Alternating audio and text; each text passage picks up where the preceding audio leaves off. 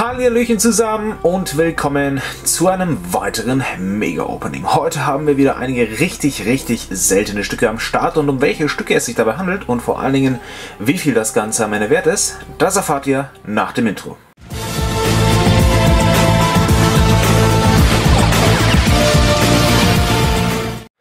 Ja, meine Freunde, herzlich willkommen zu einem weiteren Video hier auf diesem Kanal.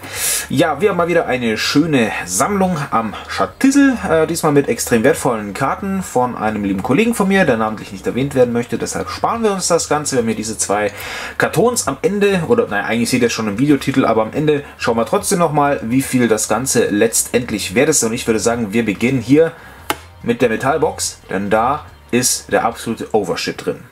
So meine Freunde, eine schöne 2019er Sarkophagotin. Ich habe das Ganze natürlich schon aufgeschnitten, damit wir uns das lästige Popel im Video sparen. Das dauert nämlich immer etwas. Ähm, vollkommen nett von ihm, finde ich mega cool. Er hat mir hier auch für einsame Abende ein entsprechendes Gadget eingepackt. Das kann man immer gut gebrauchen.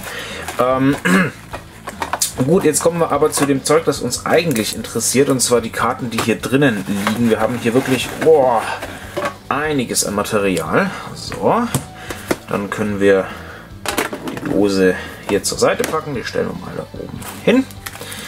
So. Und ich würde sagen, wir starten auch direkt mit den, mit den großen Karten, die wir hier dabei haben. Ich weiß noch gar nicht, wie wir das dann am Ende hinlegen wollen, werden, tun, haben, sein. Äh, überall Krümel! So. Also, meine Freunde, wir haben Exemplar Nummer uno. Äh, ziemlich cool. Wir fangen noch etwas schlicht an mit einer Raigeki aus dem OTS Tournament Pack 2. Der aktuelle Wert der Karte beträgt so 80, 85 Euro. Kann man mal mitnehmen ist jetzt noch nichts, was den Reiter vom Pferd tritt, wenn man so möchte. Vor allen Dingen, wenn man bedenkt, was da noch alles drin ist. Ich weiß es ja schon, ich habe die Sammlung ja nicht ungesehen gekauft, sondern ich habe tatsächlich Bilder von so ziemlich jeder einzelnen Karte, die hier drin ist, gesehen. Äh, dementsprechend ist für mich auch nichts Überraschendes mehr dabei. Wir haben dann hier noch einen äh, Regenbogendrachen das einzige Überraschende für mich wird dann im Endeffekt sein, äh, wie die ähm, Zustände der Karten, die hier drin sind, äh, sind.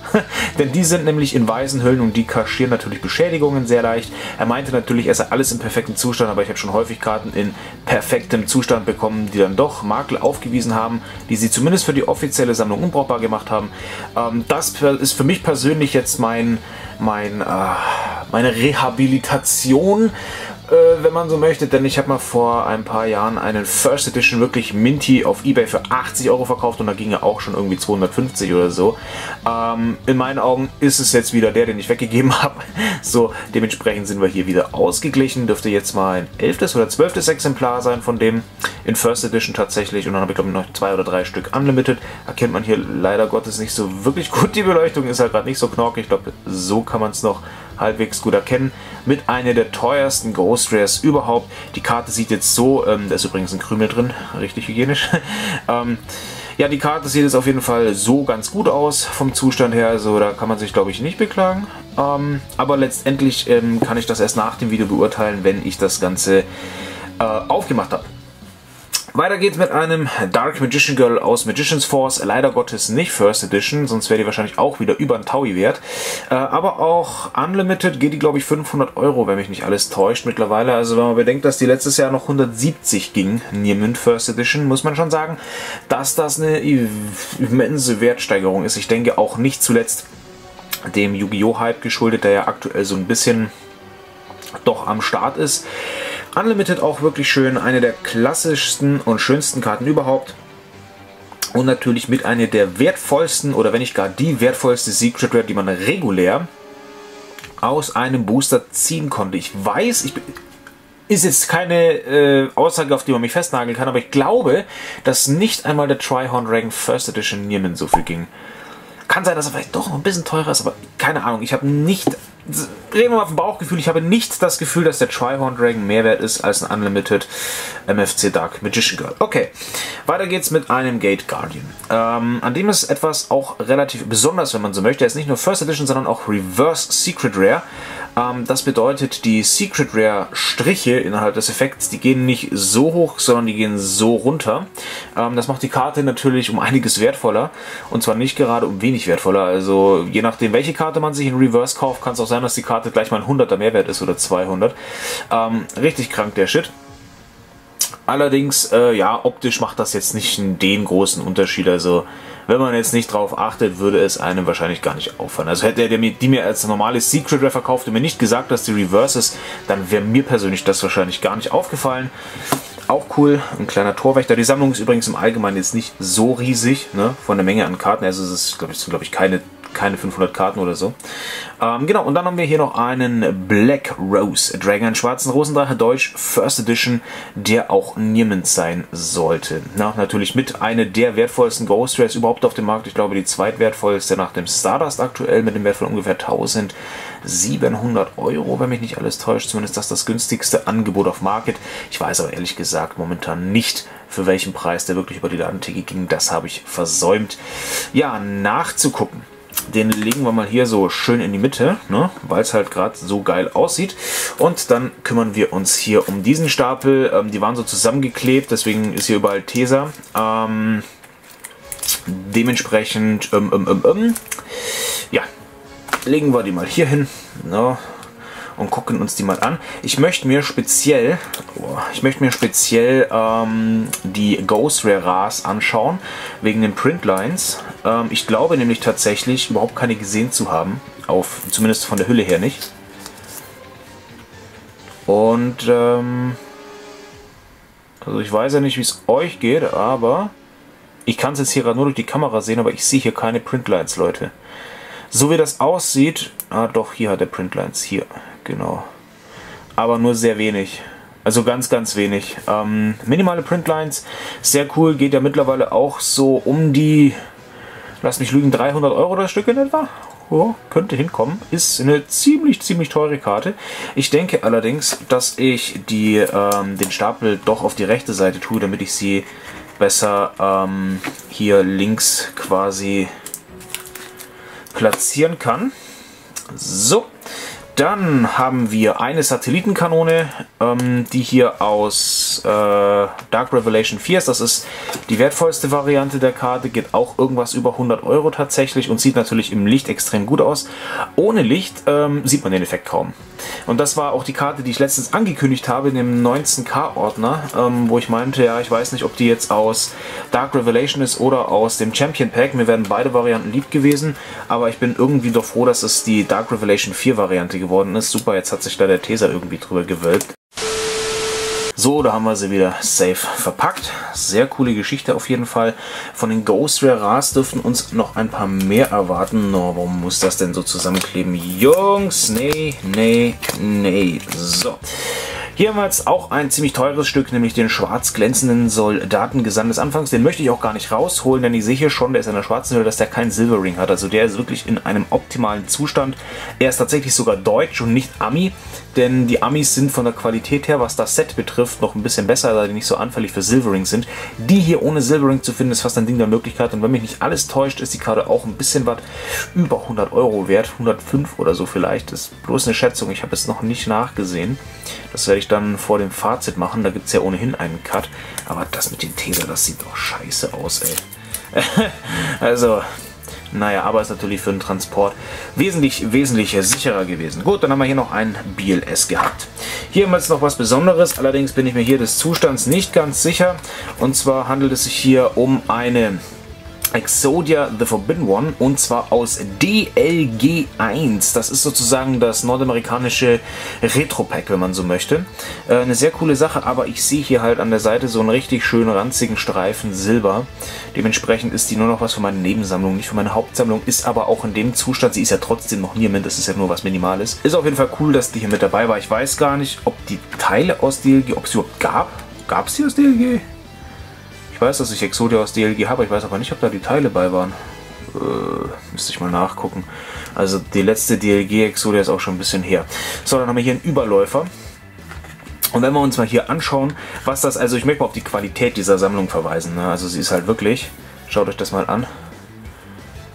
Das ist einfach wie Pack Fresh ist das. Also die Karten sind halt wirklich von der Quali her der absolute Oberhammer und das kostet natürlich auch entsprechend. Ist natürlich vollkommen logisch. Ähm, First Edition natürlich deutsch aus Metal Raiders. War noch nie ein günstiger Spaß, die Karte, soweit ich weiß. Sehr coole Sache legen wir auch mal zur Seite. Dann haben wir noch aus Toon Chaos einen Topf der Beginn, First Edition in Collectors Rare. Da war ich mir auch nicht sicher auf dem Bild, ob das jetzt die Secret oder die Collectors Rare ist, aber es ist die Collectors, finde ich gar nicht so schlecht. Ähm, den aktuellen Wert weiß ich jetzt gerade allerdings nicht, dürfte allerdings nicht gerade günstig sein, das Teil. Also ich denke mal auch so im höheren zweistelligen Bereich wahrscheinlich. Dann auch sehr schön ein Cyber End Drache, ähm, First Edition aus Cybernetic Revelation. Und natürlich wollen wir hier auch mal ganz kurz ähm, den Zustand überprüfen. Und wie ihr seht, liebe Freunde, seht ihr nichts. Hier, das sieht, seht ihr das? Das da oben sieht aus wie ein Knick oder eine Welle. Aber, nee, mit dem bloßen Auge ist hier absolut nichts zu erkennen. Keine Ahnung. Muss ich mir vielleicht nach dem Video nochmal genauer anschauen. Es ist immer ein bisschen schwierig, ähm, wenn man so hinter der Kamera sitzt, wisst ihr, entweder ähm, eben durch den Bildschirm oder halt dann so an der Kamera vorbei lugend da hundertprozentig was zu erkennen. Das gucke ich mir nochmal an. Sieht ein bisschen aus wie eine Welle, aber mit dem bloßen Auge, wenn ich so an der Kamera vorbeischiele, kann ich sie nicht erkennen, als ob mich meine Kamera so ein bisschen veräppeln wollen würde. Jetzt kommen wir zur wohl teuersten Einzelkarte aus dem Ganzen, nämlich der blauäugige weiße Drache Deutsch in First Edition tatsächlich. Sehr, sehr, sehr cool und sehr selten. Wirklich äußerst selten. Speziell die deutschen Exemplare sieht man ja kaum noch. Ähm, und tatsächlich äh, sogar wesentlich seltener als die Amis. Es gibt amerikanische Prints, die sind wahrscheinlich noch ein bisschen teurer. Aber selbst die sieht man häufiger als ein deutsches Exemplar. Und wenn ihr das mal anguckt, ne, seht ihr das? Diese Karte hat halt original nichts. Das ist also, das ist richtig, richtig heftig. Der geht, glaube ich, irgendwie, keine Ahnung, ich glaube, einen deutschen gibt es gerade gar nicht auf Market, aber geht irgendwo bei 4000 Euro los, das Ding. Ungegradet natürlich. Na, wenn ich den graden lassen würde, dann hätte ich wahrscheinlich 10k oder so. Also der ist halt auch wirklich, der ist auch vom Centering halbwegs gut. Ich glaube, der hat ein bisschen so ein Shift nach links unten, so von so weg, aber wirklich minimal. Ähm, sehr, sehr, sehr, sehr coole Karte. Eigentlich hätte noch ein Red Eyes dabei sein sollen, in First, aber da, da haben wir wohl aneinander vorbeigeredet. Ähm, den wollte er nämlich behalten tatsächlich, nicht mitgeben. Das habe ich falsch verstanden. Ich weine dem Ganzen etwas hinterher, weil den Red Eyes hätte ich auch wirklich sehr, sehr gerne gehabt. Ähm, Genau, dann haben wir hier äh, nochmal einen Torwächter, einen Gate Guardian. Ähm, Deutsch diesmal, nicht Reverse Secret Rare, sondern normales Secret Rare.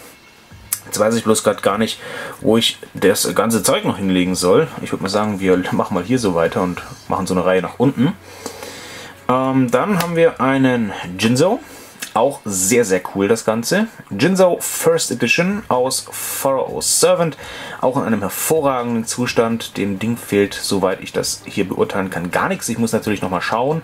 Aber ich denke, also ich habe ja schon zwei Sammlungen gekauft. In der Regel war ich immer zufrieden. Ich glaube, bei der ersten Sammlung gab es zwei Karten, wo nicht wirklich niemand war in meinen Augen.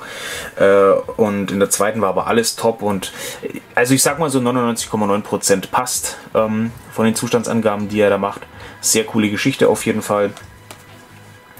Äh, dementsprechend glaube ich auch, wenn er sagt, dass das top ist, dass das auch wirklich top ist. Dann haben wir einen LOB rotäugigen schwarzen Drachen, allerdings halt den unlimitierten. Ne? Also er hat mir den First nicht gegönnt. Aber was will man tun? Äh, den luchse ich ihm irgendwann auch noch ab. Irgendwann ist soweit, irgendwann verkauft er mir das Ding auch noch. Der First Edition Red Eyes war nämlich schon bei der ersten Sammlung dabei, die ich bei ihm abgekauft habe. Aber die hat er schon für sich outgesourced und der zweite Versuch, ihm die abzuluxen, hat auch nicht funktioniert. Alle guten Dinge sind drei. Das nächste Mal schnapp ich mir den, dann sehen wir den halt in der nächsten Sammlung. Sei es drum. Dann wird es auch wieder dreistellig. Ah Gott, dieser Tesa. Uh, so. Ähm, einen dunklen Paladin. Den haben wir in letzter Zeit, oder ja doch, in letzter Zeit haben wir den schon öfter gesehen. Äh, in den Neuzugängen hatten wir den, glaube ich, letztens. Vor ein paar Folgen. 140 äh, geht der, glaube ich, in etwa. Ja, auch deutsch, auch wirklich nicht eine silberne Stelle. Nicht eine. Also normalerweise haben die Deutschen, wenn sie wirklich in einem sehr guten Zustand sind, ja zumindest irgendwo so einen Minipunkt, aber auch hier absolut nichts. Also ich bin wirklich froh, dass ich so viele High-End-Trader und Sammler kenne, die einfach diese Karten in den entsprechenden Zuständen haben, weil wenn man sich sowas auf Market kauft, dann dürft ihr, wenn, wenn ihr dir das Niemand bestellt, davon auskennen, dass da einige silberne Stellen bei sind. Das hier, Leute, ist für mich Niemand und nichts anderes. Sehr cool auf jeden Fall. Epische Karte im zweitbesten Artwork tatsächlich und natürlich in Secret Rare. Secret Rare ist sowieso so eine, äh, so eine Rarität, die halt extrem gut geeignet ist für den Dark Paladin. So, dann dann, dann, dann, dann, würde ich mal sagen, platzieren wir die Karten hier drauf, damit wir hier weitermachen können. Und machen weiter mit einem Yatagarasu, der, glaube ich, mittlerweile 250 Euro geht. Irgendwie so, also der, der ganz astronomische Preise mittlerweile erreicht. Auch First Edition aus äh, Legacy of Darkness, LOD. Ähm, Allerdings, ja, der Marketwert, den ich jetzt hier genannt habe, der ist ungefähr drei Wochen alt oder vier Wochen alt. Keine Ahnung, vielleicht war es ein Buyout. Ich, wow, jetzt ist die Kamera hier. Wupp, so. Ähm, also es war ein Buyout. Ich kann euch leider nicht äh, sagen, äh, ob das jetzt immer noch so ist. Wie gesagt, da muss ich jetzt dann nach dem Dreh gucken. Aber auch der hier ist wirklich in einem hervorragenden Zustand. Und ja, sowas nimmt man natürlich auch gerne mal mit, wenn man es dann angeboten bekommt. Ich habe ja schon ewig viele Yatas, ich glaube 10 oder 12 Stück. Aber man kann natürlich nie genug haben, wenn man House of Cards heißt. Ihr wisst das ja. Dann haben wir hier einen, äh, hier, äh, Dingens, äh, Bumsens, äh, Geschäfte mit der finsteren Welt. Das ist jetzt halt so eine 25 Euro Ulti. Ähm, also im Verhältnis zu dem, was wir hier sonst zu liegen haben, eher weniger ähm, spektakulär, was den Wert angeht. Aber es ist natürlich Dark World. Ihr wisst, mein Herz schlägt für Dark World und dementsprechend äh, war es natürlich ein Muss, dass die mit dabei ist. Ein absolutes Muss. So, die legen wir mal hier ein bisschen versetzt hin. So, dann kommen wir nochmal zu einem Ra. Wir haben hier noch zwei Stück und ich möchte hier auch dieses Exemplar wieder auf Printlines überprüfen. Das ist mir ganz, ganz wichtig. Und Natürlich ja, der hat auch Printlines, aber auch nur ganz, ganz wenige. Viele stellen mir immer so die Frage, ja Julian, wie ist das denn wegen deiner Ausstellung? Du sammelst ja nur Niemand bis Mint.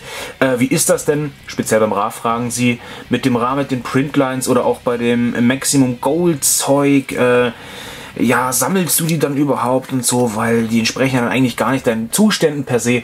Ja, natürlich sammle ich sie. Wenn es nichts anderes gibt, so, wenn die halt einfach so produziert worden sind, meine Güte, was soll ich machen? Ich lasse ja deswegen nicht äh, weg bei der Ausstellung, dann sammle ich sie halt so. Meine Güte, dann kann ich es halt auch nicht ändern. Ne? Bei Toon Chaos, da gab es ja auch diese ganz vielen beschädigten Karten, die immer hinten so weggeknickt sind. Da gab es aber auch Ausnahmen, wo halt ähm, die Karte wirklich Topman war und da muss man dann halt einfach extrem lange nach dem entsprechenden Exemplar suchen. Da mache ich dann keine Kompromisse, aber äh, ich glaube, ich habe, also ich habe jetzt glaube ich 10 Stück von Ra in Ghost einen Unlimited, die anderen First und ich habe nur zwei Stücke oder so oder ein Playset, die keine Printlines haben. Oh.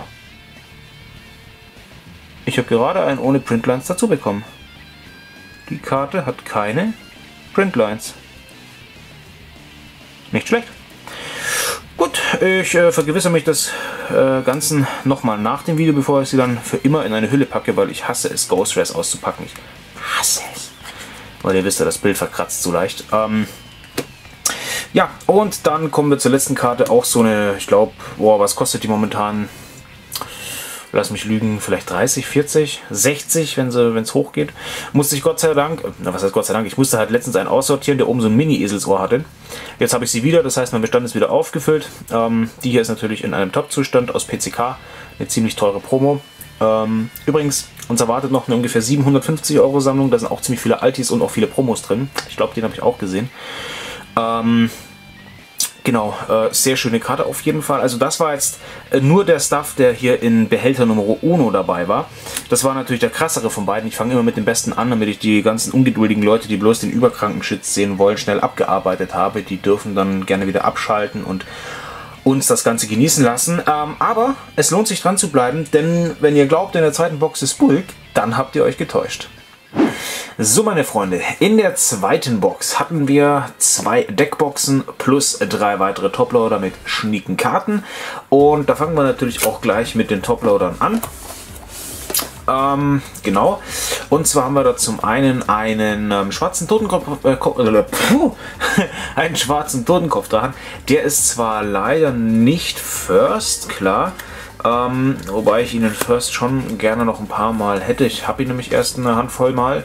Aber ähm, ihr seht auch, dieser hier ist wieder vom Zustand her einfach absolut sahnig und glänzt und spiegelt. Und es ist einfach ein absolutes Fest, sich diese Karten anzugucken. Denn die Zustände sind einfach absolut hervorragend. In die Sammlung ist übrigens äh, viele Jahre Sammelleidenschaft geflossen insgesamt. Ähm, er hat mir quasi eigentlich den Teil der Sammlung überlassen, den er gar nicht verkaufen wollte, was ich ihm auch wirklich sehr, sehr hoch anrechne. Ähm, hier haben wir einen Blue Eyes White Dragon aus der Duelist League 9 äh, mit Bronzeschrift tatsächlich. Ähm, die meisten, die ich habe, haben so blau oder so eher silber wirkende Schrift. Äh, den Bronze habe ich noch gar nicht so oft. Ich werde mir das mal angucken. Ich glaube nämlich hier an der Seite leider eine Beschädigung ausgemacht zu haben. Das kann ich allerdings erst nach... Ähm, dem Opening genauer sagen. Da müssen wir gucken, aber auch die geht tatsächlich ein bisschen was und ich glaube, die mit der Bronzeschrift war auch ein äh, oder ist mittlerweile ein Ticken seltener als ähm, der Blue Eyes aus demselben Set in anderen Schriftfarben. Und dann haben wir hier nochmal ein Delinquished Duo, das ich auch nochmal kurz ähm, rauslegen möchte, um das mal anzugucken, denn das ist tatsächlich First Edition aus Magic Ruler tatsächlich sogar. Und ihr seht auch hier absolut clean. Also so alte Karten in dieser Qualität findet man wirklich, wirklich, wirklich selten. Also das ist, ähm, das sind absolute Raritäten, meine Freunde. Man findet sie immer mal wieder in guten Zuständen recht häufig äh, mit dem einen oder anderen Makel, aber so wie ich sie sammle, sage ich mal, findet man sie wirklich selten. So, jetzt gucken wir uns zunächst mal die weiße äh, Box an. Die hat er auch zugemacht, die habe ich auch noch extra aufgeschnitten. Gucken wir mal, was er da alles noch drin hat an interessanten Stuff. Hat was das Artwork, gefällt mir sehr gut. Ähm, Edelsteinritter Seraphinit, okay, nice. Einen Obelisken, mhm, mhm, mhm. der geflügelte Drache von Ra, why not? Archfiend's Call, mhm. Zerstörungsdrache, das ist jetzt eher so random Kram, okay. Archfiends Manifestation, die ist auch echt nice. Nochmal einen äh, Spiegelkraftdrachen, einen tyrannischen Explodierdrachen, Geistungeheuer Ulti Petelfin. Den möchte ich mir kurz zur Seite legen, weil der kommt aus ähm, The Secret Forces und da war die Printqualität echt für den Arsch. Deswegen sind auch Karten ohne Silvering von denen wirklich schwer zu finden. König Dragoon. Okay. Mhm, mhm. Nochmal Slifer. Oh, ein Blue Eyes Shining Dragon. Auch nicht schlecht, wenn der im guten Zustand ist. Archfiend Ascent, okay. Oberster König Sark, okay, aus der Megatin, why not? Geht auch ein paar Euro. Dann Dragons of Legends 2, Magischer Zeithammer, okay. Nicht schlecht. Ein Dark Magician aus WPT. Der hat seine besten Tage allerdings schon hinter sich. Der hat leider Gottes Silvering und das nicht zu wenig. Okay. Ähm, Dunkles Magiermädchen Drachenritterin aus Dark Revelation 3. Oh, aus Dimension of Chaos, Dimension Fusion First Edition tatsächlich. Auch nicht schlecht, sieht man gerne. In der Mega-Hülle. Nochmal ein dunkler Magier aus dem Starter Deck Yugi Evolution. Ein Totenkopf-Dino aus LOB, First Edition. Zwar nicht mehr so top-mint, aber trotzdem, der geht tatsächlich sogar ein bisschen was. Eine Polymerisation, sehr schön. Sieht auch eigentlich wirklich noch gut aus. Dann Jinzo, die Maschinenbedrohung. Äh, okay, zweimal tatsächlich. Auch nicht schlecht. Oh, Titanic-Klar, der Aschendrache.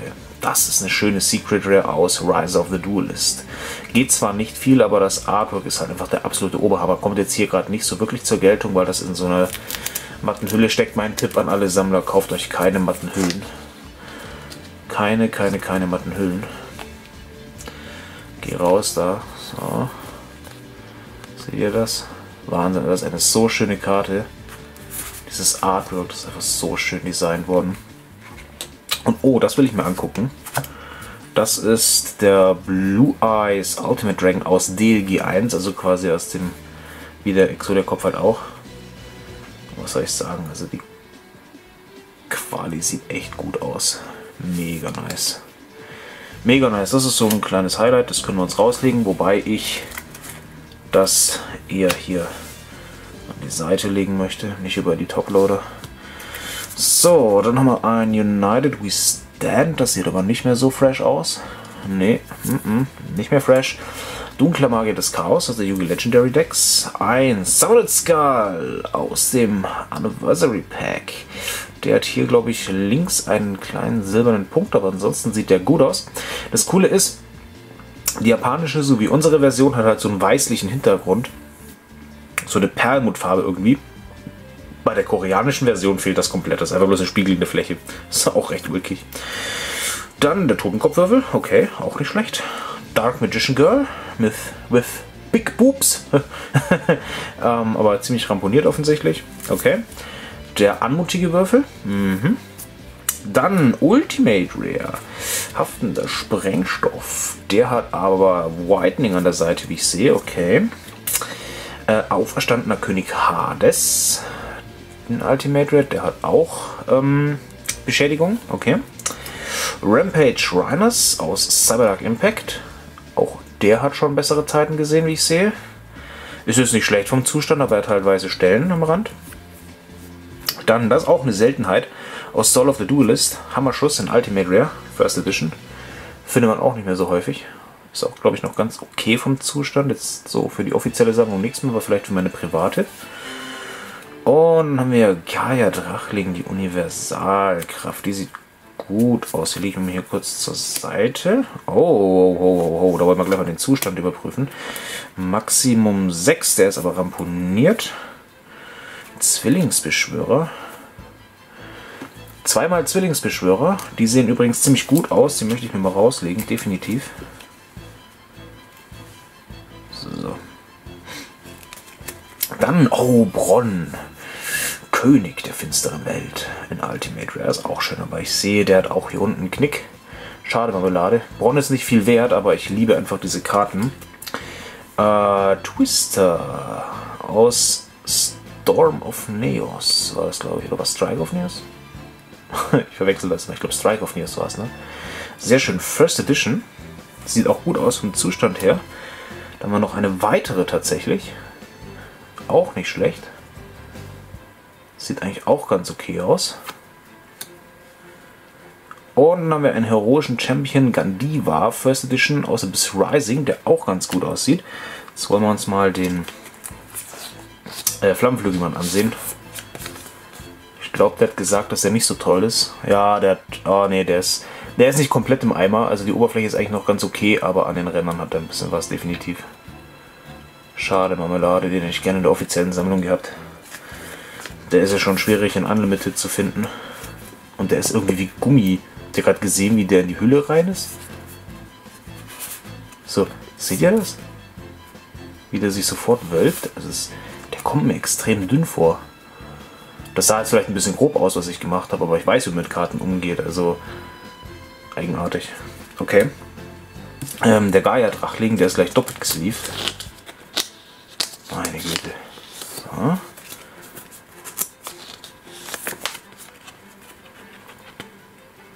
Der Geierdrachling sieht gut aus. Der sieht echt gut aus. Der ist Minty.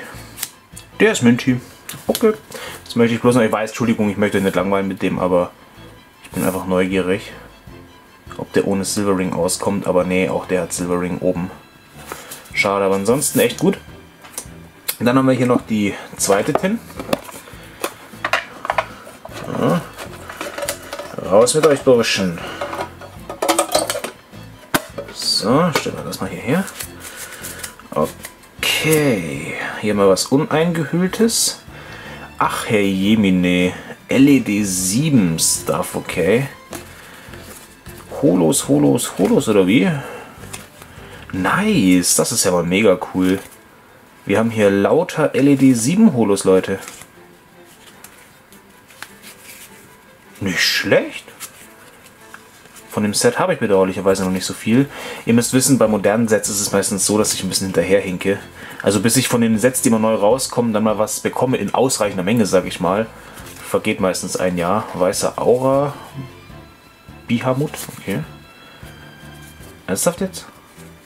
Den gab es dort als Reprint in Ultra Rare, auch nicht schlecht. Oh, Wächterschleim, ich liebe diese Karte, so schön ägyptisch. Und gleich nochmal ein, okay. Nochmal einen Bihamut. Also das ist sehr cool. Richtig viele Ultra Rares. Glutkanone. Und hier haben wir dann noch mal ein paar Supers, oder? Okay, nicht schlecht. Nicht schlecht, Herr Specht. Dann gucken wir mal, was hier noch vielleicht Interessantes dabei ist. Scapegoat, der ist aber komplett abgeranzt. Ein blauigen weißen Drachen aus Banzai. Der geht auch mittlerweile ein bisschen was. Aber der sieht nicht gut aus. Nee, nee, der ist auch kaputt. Vor allen Dingen die Hüllen sind ja böse, ne? Red Eyes, aber auch ziemlich lediert. Ähm, einen Zeitzauberer aus DL1. Der geht eigentlich. Ja, der geht. Den kann man rauslegen. Finde ich cool. Finde ich cool. Ähm, genau, Ehrung der Verdammten aus Metal Raiders. Verräterische Schwerter aus Dark Beginning. Die sind vielleicht auch noch ganz interessant vom Zustand her, aber... Nee, der ist nicht mehr gut. Der ist nicht mehr gut. Mm -mm. Ein paar Herren der Drachen, okay. Drachenflöten. Letzter Stapel. Drachenflöten. Die Klassiker. Nochmal einer aus DL1. Sehr cool. Ah, nee, nee, nee, der ist nicht gut. Der ist nicht gut. Nope. Kann man beiseite legen. Und noch eine coole Karte. Twin-Headed Behemoth. Aber der ist auch kaputt. Okay. Hier scheint es jetzt mehr so Common und Rares noch zu geben. First Edition auch nicht schlecht. Okay. Die ist vielleicht noch ganz interessant. Schauen wir mal die noch an. Das ist ein Movie Pack, die interessiert mich noch. Aber auch die ist leider Gottes kaputt. Schade, Marmelade. Ja, meine Freunde, das soll es aber auch wieder gewesen sein für den heutigen Tag. Ich habe das Ganze jetzt mal so grob zusammengerechnet. Wir liegen bei in etwa Pi mal Daumen 11.000 Euro Kartenwert. Das ist eine äh, schnieke Gesamtsumme, würde ich mal sagen. Also den Löwenanteil macht natürlich vor allen Dingen der Blue Eyes White Dragon First Edition sowie der schwarze Rosendrache. Und einige der Oldschool First Editions sind auch richtig, richtig in die Höhe gegangen. Ähm, wirklich absolut utopisch, was da teilweise an Preisen mittlerweile verlangt werden können und auch bezahlt werden. Auch, dass der geflügelte Drache von Ra so teuer ist, hätte ich gar nicht vermutet, also dass er sich im Wert so hält. Wobei, natürlich ist eine Götterkarte, war vorherzusehen. Ja, das soll es aber auch wieder gewesen sein für den heutigen Tag. Ähm, wir sehen uns zu einem weiteren Opening und bis dahin macht's gut und haltet die Ohren steif.